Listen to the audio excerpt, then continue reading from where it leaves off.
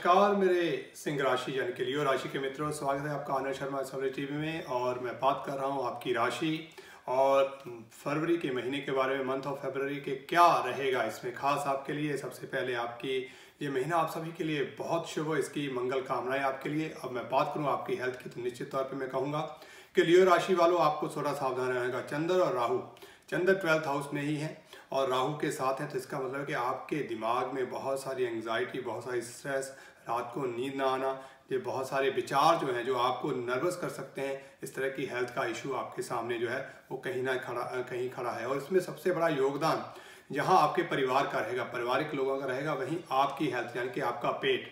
वो खास तौर पे इसमें बहुत बड़ा रोल प्ले करने वाला है। इसके अलावा मैं कहूँगा कि सिक्स हाउस में सूर्य का यानी कि आपके राशि लॉर्ड का आ जाना भी रो कार्य घर में आ जाना कहीं ना कहीं अग्रेसिवनेस दिखा रहा है। तो छोटी छोटी बातों को लेके अफेंडेड हो जाना झगड़े करना आर्गूमेंट करना दूसरे की बात को अपने तरीके से सोचना ये कहीं ना कहीं आपको मानसिक और और, और शारीरिक तौर पे परेशान कर सकता है। सावधानी है यही है कि जो चीज़ों में को जिस चीज़ का आपको मतलब निकालना नहीं है या जिस चीज़ से आपके जीवन में कोई बड़ा परिवर्तन आने वाला नहीं है, उन चीज़ों को अपने जीवन से निकाल दें। ताकि आपका दिमाग जो है, बहुत ज़्यादा ऑक्यूपाइड ना रहे, जिसकी वजह से आप जो चीज़ें करनी है, उसको ना कर पाएँ। तो बेहतर यही होगा कि हेल्थ का आपको ध्यान रखना होगा, और मुझे लगता है कि छोटी छोटी पारिवारिक बातें आपको परेशान कर पुरानी हो सकती हैं, नई हो सकती हैं, आगे क्या होगा? ऐसी बातें जब विचारों में आने लगती हैं तो हम अक्सर कर पाते हैं कि हम बीमार हैं। और अपने आप से भी कई बार डर लगने लगता है। आपको कहीं ना कहीं अपनी परछाई से भी डर लग सकता है। तो थोड़ा सावधान रहना होगा इस महीने में। जो, आपके लिए बहुत बहुत बहुत ज़रूरी है। इस बात का आपने ध्यान रखें जहाँ तक बात है, आपके परिवार के संबंधों की तो मैं देख रहा हूँ कि कि संबंधों में जब बात करते हैं तो परिवारों की जब बात आती है, ताता, चाचा, ताऊ, जो भी हैं हमारे परिवार में, अंकल, आंटी जो भी हैं, बाकी फैमिली मेंबर हैं, एक्सटेंडेड फैमिली में तो मैं देख रहा हूँ कि मरकरी इस समय जिस स्थिति में है वो लोग आपकी मदद तो करना चाहते हैं, लेकिन क्या है, वो मदद करना चाहते हैं, आप लेना भी चाहते हैं, लेकिन आप थोड़े अकड़ू स्वभाव के हो गए आप सोचते हैं कि वो सामने से आए, सामने से कई बार क्या होता है कि कुछ चीज़ें हमें मांगनी पड़ती हैं, अगर हमें ज़रूरत है तो हमें आगे बढ़ के उनको लेना होता है। वो मदद करना चाहते हैं तो आप रिफ्यूज़ कर देते हैं। तो कहीं ना कहीं मुझे लगता है कि ये विचारिक जो एक कन्फ्यूज़न है, एक मतभेद जो है, वो कहीं ना कहीं आपको इस समय में जो अपॉर्चुनिटीज़ आपके सामने आ रही हैं, जो ऑफर्स आपको मिल रही हैं, उसका लाभ आपको लेना चाहिए। और अगर आप नहीं लेना चाहते तो व्यथा किसी के ऊपर व्यंग करना उनको उनको ब्लेम करना जो है कहीं ना कहीं आपको इस बार छोड़ना होगा। वहीं आपके पराक्रम में आपके भाई बहनों में भी निश्चित तौर पे जुपिटर की स्थिति है। और मैं देख रहा हूँ कि ये लोग आ, कुछ कॉन्सिप्रेसी ऐसे होती है कि आपके सामने अच्छा बनेंगे।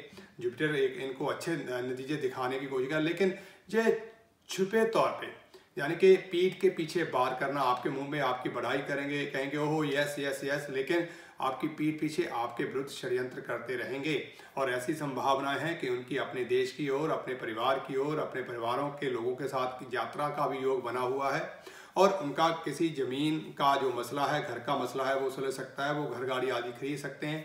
ऐसी संभावनाएँ भी हैं। तो ये अच्छी बात है। चलो बहन भाई तरक्की करें, अच्छी बात होती है, दोस्तों की तरक्की हो अच्छी बात है, लेकिन जब वो आपके लिए षड्यंत्र करते हैं तो निश्चित तौर पे आपके मन में ठेस पहुँचती है। मैं इस बात से सहमत हूँ, लेकिन आपको अपनी जर्नी चलानी है तो उसके लिए आपको तैयार रहना होगा। वही मंगल जब चौथे भाव में है, हाला, चौथे भाव का मंगल दिखा रहा है माता। मंगल जहाँ पे बैठकर आपका भाग्येश भी है कहीं ना कहीं ये आपके भाग्य में आपके साथ सहयोग देगा, लेकिन मंगल आक्रमक होने की वजह से, या तो उनकी तरफ़ से कुछ बुरे शब्द, या शब्दों को कहने का तरीका ऐसा हो सकता है जिसमें से फिर एक बार आर्गूमेंट मिल जाए। शायद उनकी मंशा जो है वो मीन ना करते हो, लेकिन स्थितियाँ कुछ ऐसी बनती चली जाएँगी।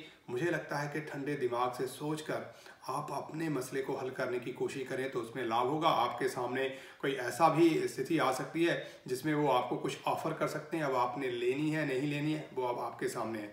पिता की स्थिति भी आपकी कुंडली में जो है मैं कहूँगा कि ऐसी हो गई है कि जो एक डोमिनेटिंग इंसान आपके थे, वो कहीं ना कहीं अपनी हेल्थ से कहीं ना कहीं जूझ रहे हैं, कमज़ोर हैं डिपेंडेंट से लगते हैं हेल्पलेस से लगते हैं तो कहीं ना कहीं ये चीज़ भी आपको, क्योंकि आप ब्रॉटअप हुए हैं, उनकी छत्र छाया में आपको लगता है कि वो आपके रोल मॉडल हैं, वो आपके हीरो हैं, लेकिन ऐसा लगता है कि कहीं वो भी आपके विरुद्ध कुछ कर रहे हैं। तो मैं ये कहूँगा कि इन विचारों से निकलकर आप जो कर सकते हैं, उस ओर ध्यान दें तो ये रिश्ते जो है, वो अच्छे बनते रहेंगे। जहाँ संतान की बात है, पंचम भाव में शनि की स्थिति।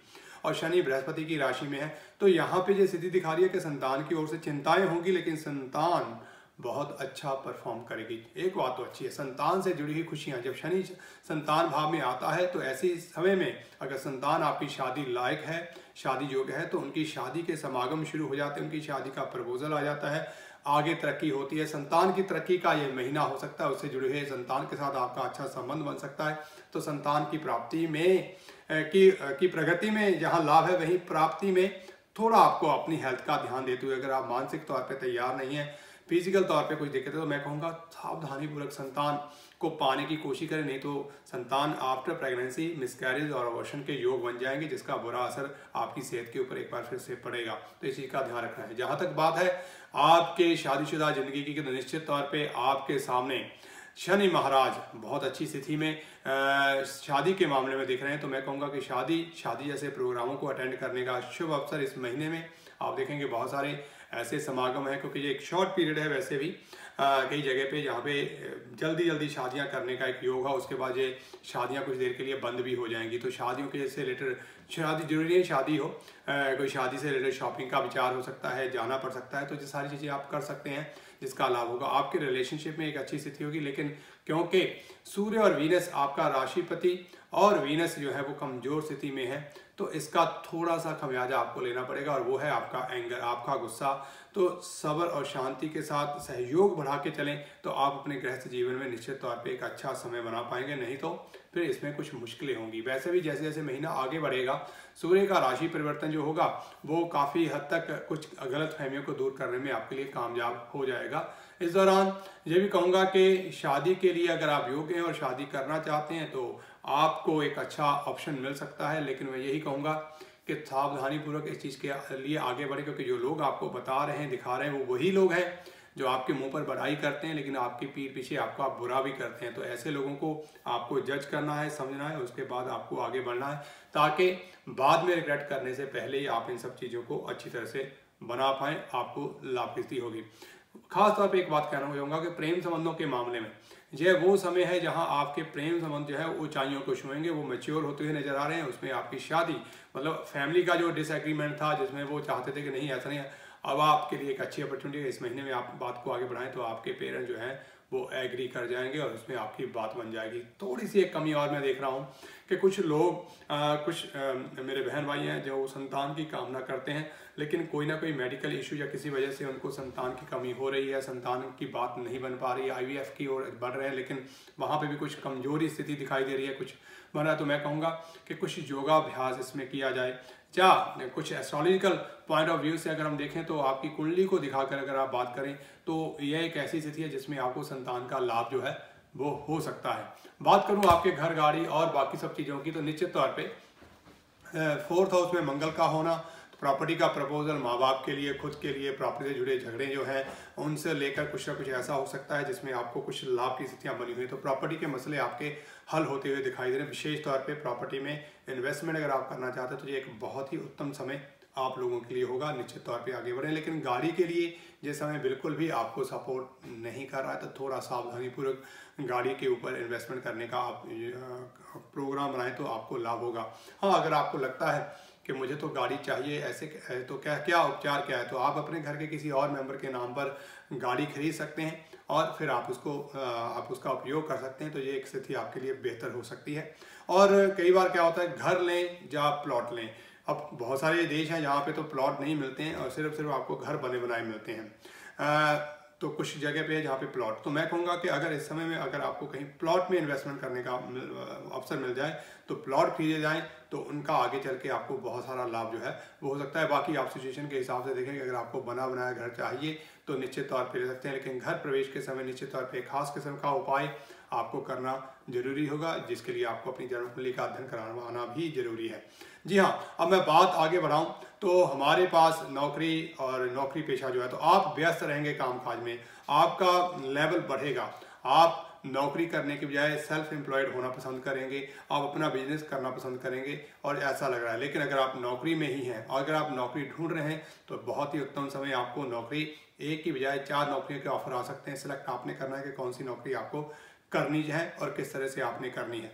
ये आपको डिसाइड करना है। अगर नौकरी आपको किसी तरह से भी मार्केटिंग से जुड़ी हुई मिल सकती है, जिसमें कमीशन बेस्ड मिल सकती है, आपको ब्रोकर के रूप में जो आपको नौकरी मिल सकती है, आपको मेडिकल से जुड़ी हुई कोई नौकरी मिलती है इस फ़ील्ड में तो निश्चित तौर पे जी अपने आप हालाँकि बहुत सारी नौकरीज हैं जो आपको हो सकती हैं, लेकिन इस फ़ील्ड में विशेष तौर पे लाभ की स्थिति दिखाई दे रही है।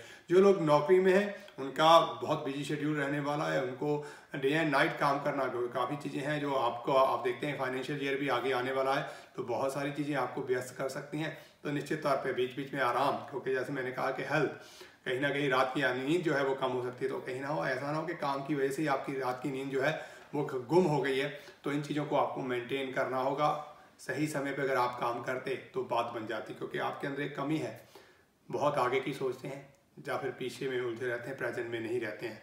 जबकि आप अपनी नेचर के विरुद्ध काम करते हैं, इस चीज़ का आपने ध्यान रखना है। अगर ये चीज़ आपने की है तो निश्चित तौर पे अपनी जॉब को एंजॉय कर पाएँगे। जॉब में आपको एक नई पोजीशन एक नया रोल जो है, वो कहीं ना कहीं मिलता हुआ दिखाई जो लोग बिज़नेस में हैं, अब बात उनकी आ गई है कि बिज़नेस वाले, वो चाहते हैं आगे बढ़ना। जी हाँ आप बढ़ा रहे हैं अपने दायरे को। आपको पता ही नहीं है कि आपने अपने आप को कितना आगे बढ़ा लिया है और आगे कितना आप अपने आप को बढ़ा सकते हैं। तो कुल मिला के ये कहूँगा कि बिज़नेस करने वालों के साथ साथ नौकरी पेशा लोगों के लिए सेल्फ एम्प्लॉय लोगों के लिए भी ये मंथ जो है वो एक बेहतरीन मंथ होने वाला है।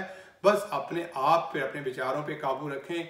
इधर उधर की बातों को छोड़ के आप इसके ऊपर फोकस करेंगे तो आप पाएँगे कि आपने बहुत रास्ता तय किया और उसमें आपने बहुत सारी सफलता भी इस दौरान पाई है। कुल मिला के ये स्थितियाँ अच्छी हैं तो मैं देख रहा हूँ कि आपका जो हाउस ऑफ़ फाइनेंस है, आपकी जो इनकम है, उनका कारक मर्फी जो है, वो सिक्स हाउस में बैठा हुआ एक अच्छा गेन दे रहा है। तो आपको कहीं ना कहीं जो आपका कनेक्शन है, वो फाइनेंशियल सर्कमस्टांसेस को पोजीशन को बैंक बैलेंस को बढ़ाने का काम कर रहा है। आप उसमें चाहे आपको लोन क्यों ना लेना पड़े, आप मोर्गेज क्यों ना लेने पड़े आप कोई एप्लीकेशन डालें, उसमें आपको सक्सेस मिल सकती है। लेकिन साथ ही साथ जब मैं देखता हूँ, आपकी कुंडली में तो मैं देख रहा हूँ कि जुपिटर जो आपके एट्थ हाउस के कार्य वो थर्ड हाउस में चले गए तो ऐसा हो सकता है कई बार आपको अपने साथी की वजह से, अपने संगियों की वजह से किसी तरह का फाइनेंशियल लॉस या बड़ा फाइनेंशियल पे ऑफ़ भी करना पड़ सकता है। तो इसमें आपको एक अच्छा बैलेंस बना के साथ में चलना होगा। मुझे लगता है कि सोच समझ कर चीज़ों को करने में ही आपका लाभ होगा। अब बात आ जाती है यात्राओं की। यात्राओं के ऑप्शन आपके लिए बहुत सारे बनेंगे। बहुत सारी यात्राएँ इस महीने में करने का विचार बनेगा। फिर आप देखेंगे कि मेरे पास पैसों का जुगाड़ नहीं हो रहा है जबकि सब कुछ ठीक है। और मैंने अभी अभी काम शुरू किया तो इसलिए मेरे मेरे जो क्लाइंट हैं वो कहीं ख़राब ना हो मैंने अभी नौकरी शुरू की तो मुझे अभी हॉलीडे नहीं मिलेगा। इस वजह से हाँ ना हाँ ना करते करते जो यात्राएँ हैं, वो बीच बीच में रुकेंगी। लेकिन आपके इर्द गिर्द यात्राओं का सिलसिला बना रहेगा, खर्चे का सिलसिला बना रहेगा। विवाह शादी से संबंधित चीज़ों की बात होती रहेगी। कुल मिला के ये कहूँगा कि ये जो मंथ है, वो आपके लिए एक बेहतरीन अपॉर्चुनिटी से भरा मंथ होगा। बस आपको अपने आप पर पूरा फोकस करना है। उपाय के लिए कहना चाहूँगा कि अगर आप मुश्किल में हैं, आपको लगता है तो ये सबसे उत्तम उपाय आपके लिए है कि माँ दुर्गा के मंदिर में आप मीठा चढ़ाएँ। अगर वो मीठा, आप दूध में पका हुआ मीठा चढ़ाएँगे तो और भी आपको लाभ होगा, जिससे जो पेट विकार या सेहत की जो अननेसेसरी टेंशन है, उससे आप राहत ले पाएँगे। उम्मीद करता हूँ वीडियो में दी गई जानकारी आपको पसंद आएगी। और इस वीडियो को लाइक करना ना भूलें, चैनल को सब्सक्राइब ज़रूर करें ताकि मैं आपकी सेवा में हाजिर होता रहूँ। अब मिलूँगा आपसे, बात करूँगा आपकी राशि और मार्च महीने के साथ, तब तक के लिए नमस्कार।